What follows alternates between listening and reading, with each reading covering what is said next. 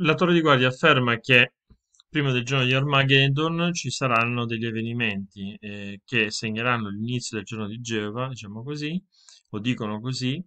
e questi avvenimenti consisteranno soprattutto in questa eh, messa in atto di una distruzione a livello pla- planetario delle varie eh, religioni, cioè tutti gli stati maggiori si metteranno d'accordo e cominceranno a distruggere tutte le varie religioni, quindi quella cattolica, poi magari andranno i musulmani, poi gli induisti, poi gli shintoisti, i mormoni, insomma tutte le religioni, quando le avranno eliminate tutte, si passerà all'unica vera religione, che è quella ovviamente dei, dei testimoni di Geova.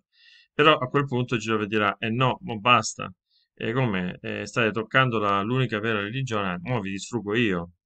Ma forse non, non si rendono conto di una cosa, che tutti gli stati del mondo dovrebbero mettersi d'accordo, ma eh, questo fatto ehm, cioè, è banale, se non altro perché, ad esempio, non tiene conto del fatto che ci sono stati islamici dove non c'è distinzione fra diritto civile e diritto religioso, dove c'è la Sharia, quindi parliamo di paesi come l'Iran, l'Arabia Saudita, l'Egitto, la Tunisia e via dicendo, tantissimi altri stati arabi, dove i capi politici eh, di quello Stato sono anche capi religiosi, cioè sono lo stes- loro stessi guide religiose e quindi non potrebbero mai mettersi d'accordo per distruggere la religione che loro stessi guidano. Di questo ovviamente non ve ne parla la Torre di Guardia in questi sproloqui, scusate, ma sarebbe come dire che il Papa partecipa a queste riunioni di grandi stati e poi dice sì, sì, distruggete la Chiesa Cattolica, mi raccomando.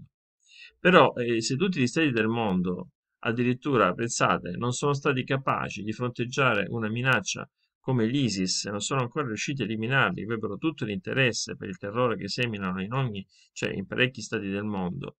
cosa vi fa pensare che potrebbero eliminare e poi mettersi per eliminare che cosa? Religioni che fanno del bene, che aiutano la gente, che soccorrono la vedova, il forestiero, cioè che in ogni latitudine del mondo, come dico spesso, anzi, fanno da ammortizzatore sociale, aiutano molti stati laddove, ad esempio, non esistono sistemi sanitari e via dicendo, per distruggere cosa? Ma insomma, veramente, vi invito, ve lo dico con affetto, riflettete su quello che vi viene propinato, perché è una strategia che, a mio avviso, veramente dimostra tutta la debolezza e sentono proprio il fiato sul collo. Ecco, perché stanno vedendo che non c'è crescita nei paesi del cosiddetto primo mondo, la crescita eventualmente c'è stata solo nei paesi del terzo mondo perché, perché più facilmente purtroppo la povertà, l'ingenuità, l'ignoranza porta a credere, a eh, cascare in questi eh, racconti che eh, non rasentano ma superano il ridicolo.